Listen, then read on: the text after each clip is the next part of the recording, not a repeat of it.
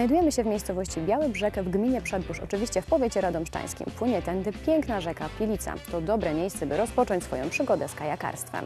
By nie stała się ona nieprzyjemnym wspomnieniem, musimy się do niej odpowiednio przygotować. O tym, co zabrać, opowie nam pan Artur Koski.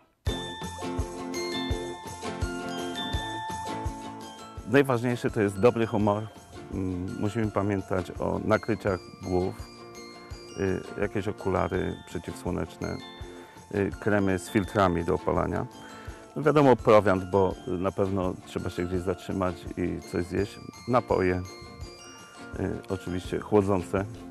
O wyskokowych należy zapomnieć na kajakach.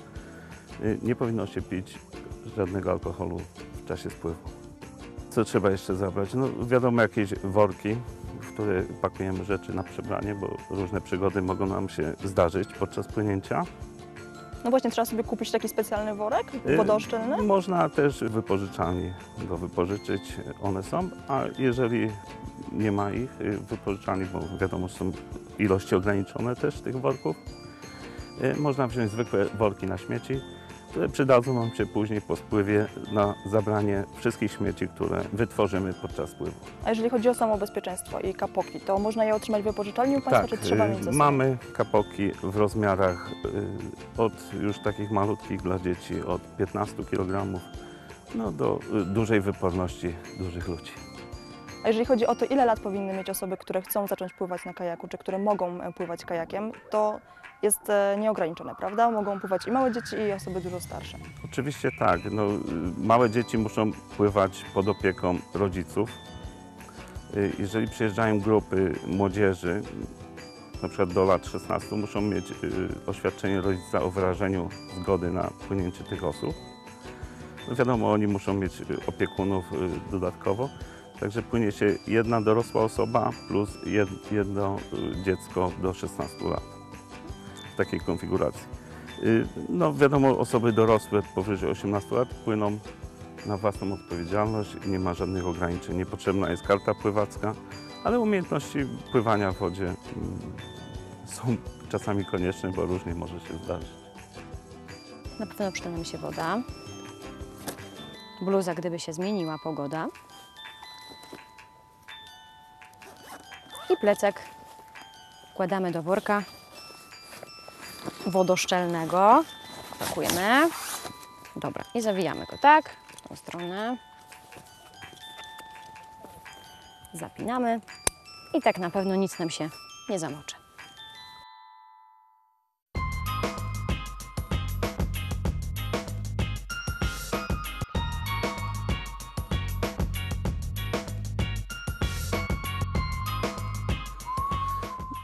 Kajak stawiamy na rzece w górę, dziób do kierunku płynięcia wody. Wsiada pierwsza osoba, pasażer.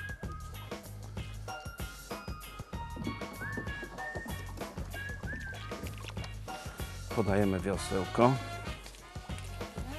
I teraz sternik kajaka.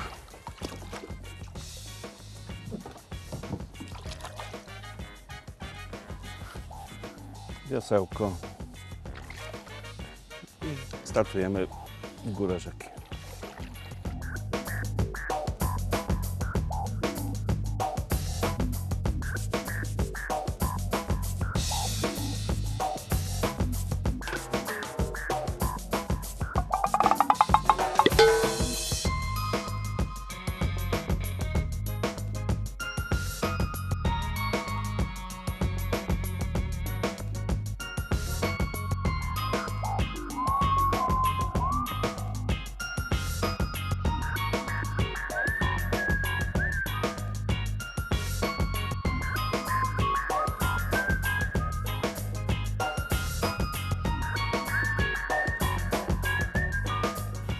Lewa i prawa i dopływamy prawie do mety.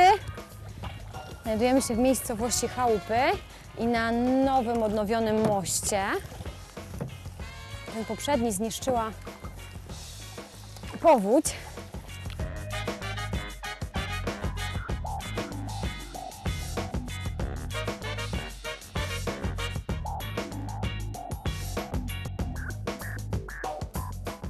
A jednak, płyniemy dalej.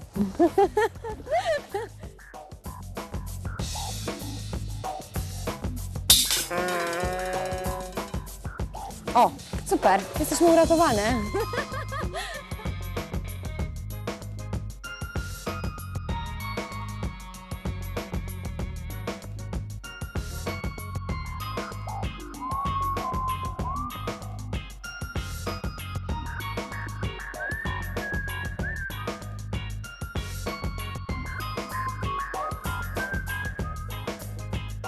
Czas na małą przerwę. Znajdujemy się tuż za miejscowością Chałupy, a przed Przedbożem. E, Pan tutaj wspominał, że pływający kajakami nazywają to miejsce Piaski. To jest takie wybrzeże klifowe, możemy powiedzieć.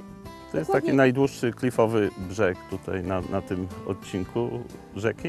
Zasadniczo na, na całej długości tutaj od, przed, od Maluszyna do, do Sulejowa. Trasa, którą wybraliśmy jest jedną z wielu, prawda? Bo tak właściwie te trasy przygotowane są no, dla każdego. I dla rodzin z dziećmi, którzy dopiero rozpoczynają swoją przygodę z kajakiem i dla tych wytrawnych kajakarzy. Tak, dobieramy te trasy odpowiednio do stanu zaawansowania pływających, yy, wieku płynących. No, dzieci nie, nie przepłyną jakiegoś długiego odcinka. Także tutaj ten odcinek, który przepłynęliśmy jest około 8 km. To jest taki odcinek na dwu, dwugodzinne płynięcie. Bardzo często tutaj następuje postój płynących, yy, robią sobie biwak, dzieci bawią się w piaseczku. A jakie są Są- inne trasy? Są jeszcze trasy od 16 km do 22 i jeszcze dłuższe. Są trasy wielodniowe. Można płynąć dwudniowy spływ z Maluszyna do Przedboża. Wtedy przystanek jest na wysokości Krzętowa, gdzie można biwakować lub zatrzymać się w gospodarstwie agroturystycznym. No właśnie, oprócz tego, że możemy płynąć i podziwiać przyrodę, to pewnie zatrzymując się w różnych miejscowościach, możemy podziwiać też na przykład zabytki, prawda? Tak, dopływając do Przedboża można obejrzeć sobie zabytkowy ratusz, kościół, jest muzeum ludowe. Można zjeść kugla w naszych gastronomicznych lokalach, taką potrawę regionalną. Można odpocząć też nad zalewem, gdzie jest pole biwakowe lub y, zatrzymać się w schronisku. Wtedy te kajaki zdejmujemy z rzeki. One nocują u nas w wypożyczalni. Płynący sobie nocują w schronisku lub na tym polu biwakowym y, nad zalewem, gdzie jest też y, dostęp do sanitariatów, ciepłej wody, miejsca sporządzenia sobie posiłków. Kajaki to chyba coraz bardziej popularny sport, prawda? Tak, coraz więcej ludzi się y, tym y, zajęło. Powstało więcej wypożyczalni, jest dostępność tego sprzętu, no i propagują. Jedni, którzy przepłynęli, zachęcają y, drugich. Są spływy rodzinne, firmowe.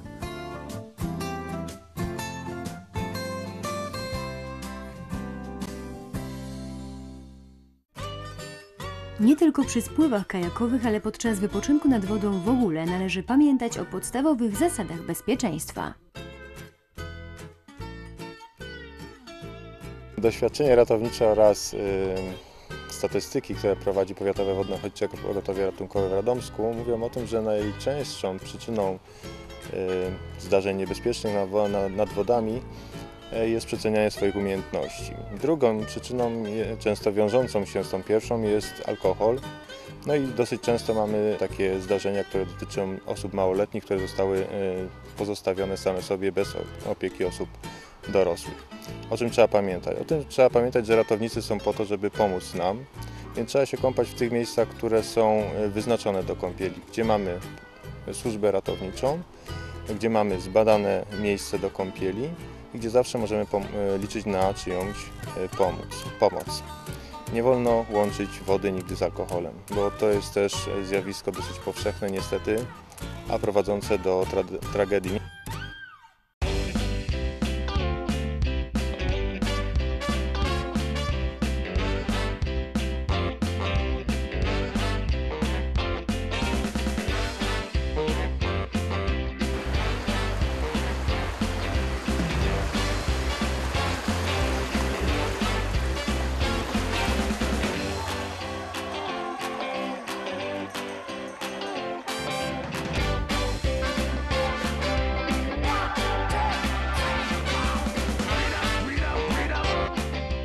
Nasza dzisiejsza przygoda z kajakami właśnie dobiega końca, ale gdy tylko pogoda pozwoli, na pewno do niej powrócimy. Płynęłam kajakiem po raz pierwszy i muszę przyznać, że to fantastyczna przygoda, nawet dla początkujących. A w kolejnym odcinku poznamy szlaki konne biegnące przez powiat radomszczański. Zapraszamy, do zobaczenia.